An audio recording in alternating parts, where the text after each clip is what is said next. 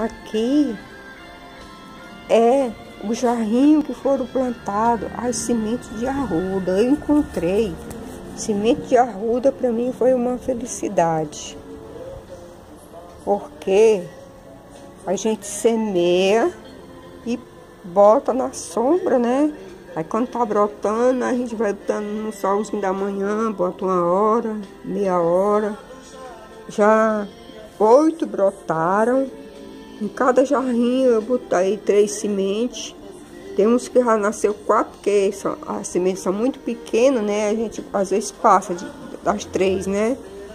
Aqui já tem mais de três. Essa aqui só nasceu uma, aqui uma.